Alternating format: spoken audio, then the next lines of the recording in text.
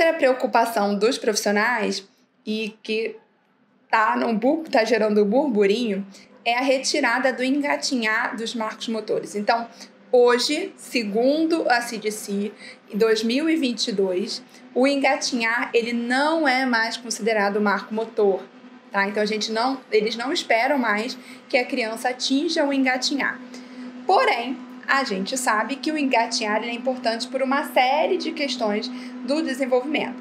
E os benefícios incluem estabilidade de, de ombro, habilidade manual, formação do arco palmar, preparação para a marcha pelo movimento recíproco que a criança trabalha no engatinhar, propriocepção, coordenação bilateral e a capacidade de resolução de problemas.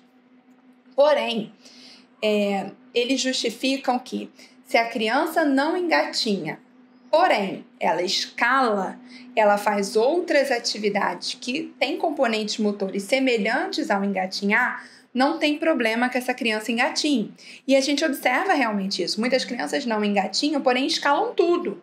E tá tudo bem, ela vai trabalhar fortalecimento de mão, ela vai trabalhar coordenação bilateral, propriocepção, estabilidade, tudo isso, se ela estiver também escalando, escalando o sofá, escalando uma escada, escalando degrau.